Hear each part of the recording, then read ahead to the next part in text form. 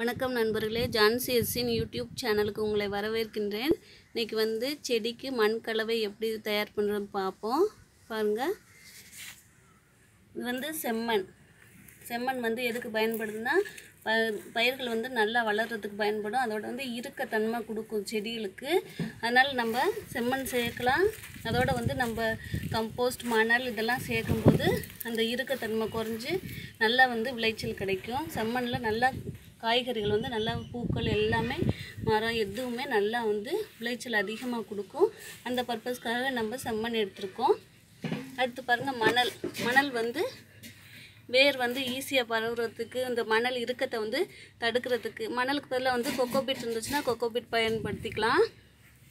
இப்போ கொக்கோபிட்லாம் பயன்படுத்தினோம்னா ரெண்டு வருஷம் கழித்து அதெல்லாம் மாற்றணும்னு சொல்லுவாங்க. ஆனால் மணல் வச்சோம்னா நமக்கு வந்து வருஷ கணக்கில் கூட அது வாட்டுக்கு இருக்கும். ஒன்றும் பிரச்சனை இல்லை. அடுத்து வந்து கம்போஸ்ட் எல்லாமே ஒரு ஒரு பங்கு. மூணு பங்கு இது ஒரு பங்கு அது ஒரு பங்கு எல்லாம் வந்து சேர்த்து இது மூணுமே வந்து போதும். நல்லா ஃபுல்லாக போட்டு நல்லா கிளறிக்கணும். இதில் வந்து நம்ம செடி வச்சாலே செடி நல்லா வளரும் பாருங்கள் செம்மண் மணல் கம்போஸ்ட் போட்டிருக்கேன். எல்லாமே சரியளவு மூணு பங்கு ஒன்று ஒன்று ஒரு ஒரு பங்கு சேர்த்து எடுத்து கலந்து நம்ம போட்டுக்கலாம். இப்போ செம்மண் பதில் தோட்டமண் போடலாம். தோட்டமண் சொல்லி பார்த்தோம்னா என்னென்னா நம்ம ஏற்கனவே செடி வச்சுருப்போம் பார்த்தீங்களா? அதுக்கு அடியில் நம்ம வச்சுருக்க அந்த மண்ணை தான் தோட்டமண் சொல்லுவாங்க. தோட்டமண் தனியாக இல்லை நம்ம மரத்தடியில் செடி அடியில் இருக்குது. நம்ம ஏற்கனவே வச்சு வளர்த்த செடி அந்த செடியை எடுத்துகிட்டு இருக்க மண்ணு தான் தோட்ட மண் பாருங்கள் இதுதான் கலவை. இதுவே போதும். இதில் நல்லா செடி வளரும். இல்லை நமக்கு வந்து இன்னும் உரம் தேவை அப்படின்னு நம்ம நினச்சோம்னா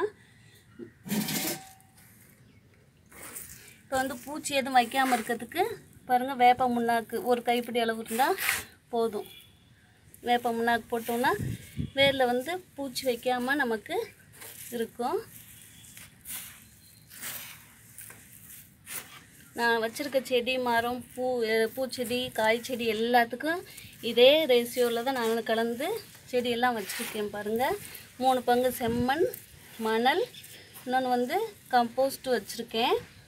இப்போ வந்து வேப்ப முன்னாக்கு வந்து பூச்சி வேரில் வந்து பூச்சி பிடிக்காமல் இருக்கிறதுக்கு அதோட மாட்டு சாணம் பாருங்கள் மாட்டு சாணம் இருந்துச்சுன்னா அதையும் சேர்த்துக்கலாம். இது வந்து மாட்டு சாணம் எதுக்குன்னு சொன்னி கேட்டோம்னா நம்ம ஏற்கனவே வந்து கம்போஸ்ட் வச்சுருக்கோம். அதிலே வந்து நமக்கு மண்புழு வரும். மாட்டு சாணம் சேர்க்கும்போது இன்னும் நமக்கு அதிகமாக கிடைக்கும். அதோட எருவில் அதிக சத்து இருக்குது நமக்கு.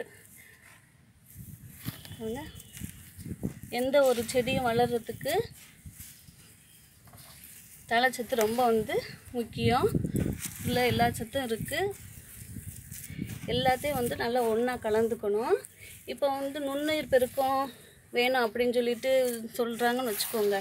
இப்போ நம்ம எல்லாமே கடையில் வந்து க வாங்கணும் நாங்கள் கட்டாயம் இல்லை. நம்ம வீட்டில் இருக்க பொருளை வச்சு நம்ம யூஸ் பண்ணிக்கலாம். இப்போ இதில் சா சாணம் போட்டிருக்கோம் கம்போஸ்ட் போட்டிருக்கோம். இதில் மண்புழு நல்லா நமக்கு உருவாகும். நுண்ணுயிர் பெருக்கம்னா குட்டி குட்டி பூச்சி மாதிரி இருக்கும். நன்மை செய்கிற பூச்சி. அதை தான் நுண்ணுயிர் பெருக்கம்னு சொல்லுவாங்க. அது எது அது வந்து எப்படி உருவாக்குனா இங்கே பாருங்கள் இந்த கப்பில் வந்து புளிச்ச மாவு இருக்குது பார்த்தீங்களா நம்ம இட்லிக்கெலாம் ஆட்டுவோம் பார்த்திங்களா அதில் நாலு நாளைக்கு முன்னாடி ஆட்டின மாவு வந்து ரொம்ப புளிப்பாக இருக்கும். சாப்பிட முடியாது பாருங்க. இந்த இந்த அதில் வந்து ஒரு கப்பு தண்ணிக்கு ஒரு ஸ்பூன் அளவு மா மாவு விட்டால் போதும். போட்டு நல்லா கலக்கிட்டு இப்போ இந்த கலவை இருக்குது பார்த்திங்களா இதில் அப்படியே நம்ம தெளித்து விட்டுருவோம் இந்த கலவை நம்ம வந்து இன்றைக்கே நட்டாலும் செடி நட்டாலும் நடலாம்.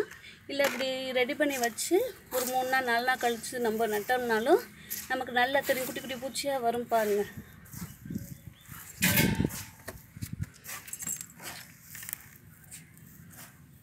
நம்ம கையில் கலக்கும்போது கரெக்டாக இருக்கும்.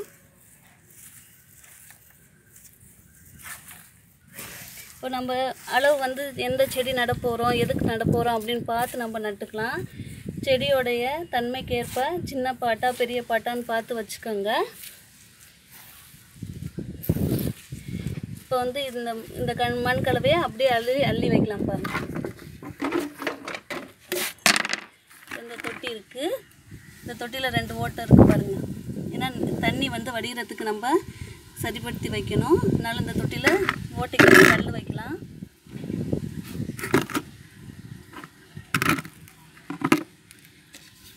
இப்போ இந்த மண் கலவை வந்து அதில் அள்ளி அப்படியே போடணும். இதில் எவ்வளோ பெரிய செடினாலும் மரம் மரக்கன்று கூட நட்டு வைக்கலாம் பாருங்க.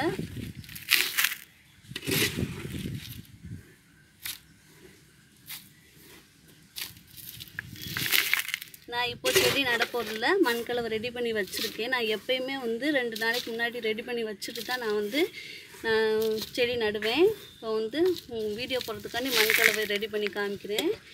இந்த அளவுக்கு வந்து இருந்தால் போதும். இப்போ நம்ம செடி நடணும்னா இந்த செடி நட்டுட்டு மீதி வந்து மண் இருக்குது இந்த அடுத்து இன்னொரு பாட்டுக்கும் யூஸ் பண்ணிக்கலாம். செடி நட்ட பின்னாடி கூட நம்ம பயன்படுத்திக்கலாம். ஆனால் இப்போ செடி நடாததுனால நான் இந்த பாட்டிலே போட்டு வைக்கிறேன். எதுவுமே நம்ம வந்து முன்னாடியே இந்த இதெல்லாம் சேரும்போது ஒரு சூடு தன்மை மாதிரி வரும். அதனால நம்ம வந்து அதுக்காண்டி ரெண்டு நாளைக்கு முன்னாடி நம்ம தண்ணியை ஊற்றி வச்சோம்னா அந்த நுண்ணீர் பெருக்கம் எல்லாமே நம்மளுக்கு ரெடியாக இருக்கும் அப்போ செடியோட வேர் வந்து ரொம்ப சூடாக இருந்து கருகிடாமல் இருக்கிறதுக்கு இது ஒரு நல்ல வாய்ப்பு பாருங்க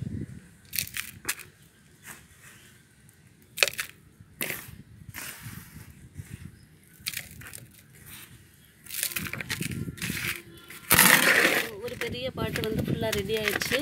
இதை நம்ம மரக்கன்று நட் மரக்கன்று கூட நட்டு வளர்க்கலாம்.